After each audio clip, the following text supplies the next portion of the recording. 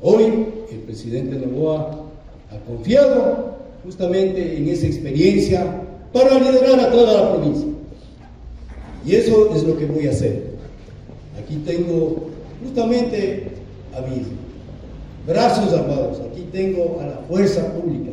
Miren, con esta selección, con este cuadro de lujo, es de que vamos a trabajar aquí en la provincia de La Suárez.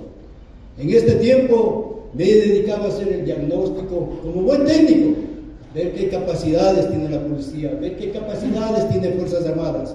Me he reunido con varios gremios, transportistas, con turismo, con algunos alcaldes de los GATS, ya delineando la estrategia que se puede hacer. Nuestro presidente ha comunicado dos palabras, seguridad y desarrollo.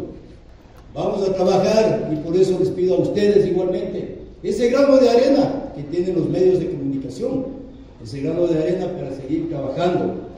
Vamos a intensificar principalmente en la planificación las famosas operaciones de inteligencia, porque eso como técnico es lo que nos falta. Me comprometo como buen militar 24/7 y con un trabajo técnico, con un trabajo de experiencia, poder dar esa percepción de seguridad para todos. Me pongo a las órdenes de todos ustedes. Mi responsabilidad son las provincias de El Oro, Loja, eh, Zamora Chinchipe, Morona Santiago, Cañar y Azuay. Ese es todo mi sector de responsabilidad. Estoy enterando prácticamente de toda la problemática existente.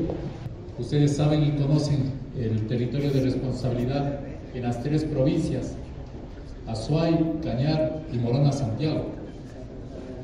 He recibido con mucho honor esta designación por parte del mando institucional de volver acá a esta linda ciudad de Cuenca y a través del comando de la zona 6, del comando de la subzona de la SUAI, será un comando de puertas abiertas, de diálogo permanente, con el debido respeto, consideración y de un trabajo conjunto.